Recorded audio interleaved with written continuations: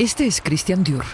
Para él todo está en juego. El jefe de la fracción del Partido Liberal en el Parlamento de Baja Sajonia está convencido de que en este land su partido forma una buena coalición con la CDU.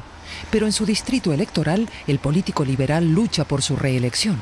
Por eso destaca los logros del FDP. En los pasados diez años impulsamos el ascenso de Baja Sajonia, del que también se benefició el municipio de Gandakese.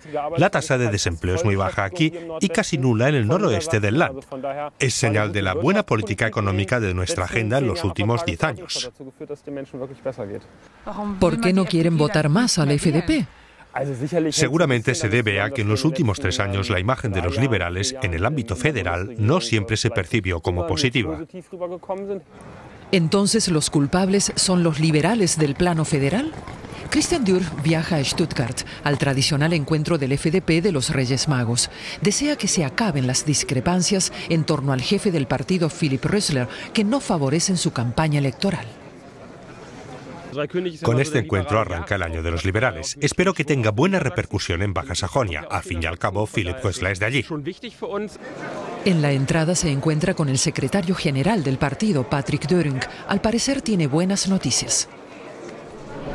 Invocamos la unidad. Muy bien.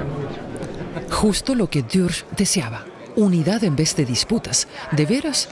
Dürr sabe que su éxito electoral en Baja Sajonia depende en gran parte de la suerte del presidente del partido, Philipp Rösler. Juntos vencerán o sufrirán la derrota. Se respira tensión en el ambiente. Al principio, todos parecen cumplir lo convenido, unidos y nada de disputas, hasta que interviene Dirk Niebel. El FDP no puede seguir como hasta ahora. El FDP está muy por detrás de lo que puede lograr. Me desgarra ver en qué estado se encuentra mi partido, nuestro partido.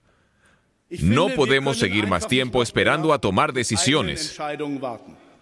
Para Dürr, este ataque de las propias filas es veneno para las elecciones, unidad en vez de disputas. Y Philipp Rösler, en vez de reaccionar a la ofensiva, su discurso fue demasiado débil para contraatacar. La credibilidad implica saber tomar posiciones, mostrar firmeza, pero la credibilidad siempre es una cuestión de estilo, de lealtad y solidaridad. Peor no les pudo haber ido a los políticos de Baja Sajonia. El optimismo es, a ojos vista, forzado.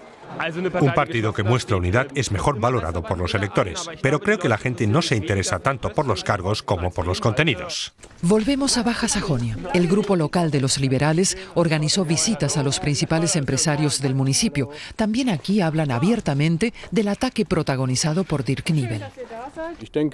Creo que en parte le salió del corazón lo que dijo acerca de la situación del partido y en especial del electorado. Y cuando alguien opina así, debe poder decirlo sin reparos ante el FDP. Me parece mal que justo en encuentros como este del Día de los Reyes Magos saquen a relucir conflictos internos. Christian Dürr intenta transmitir optimismo pese a la situación.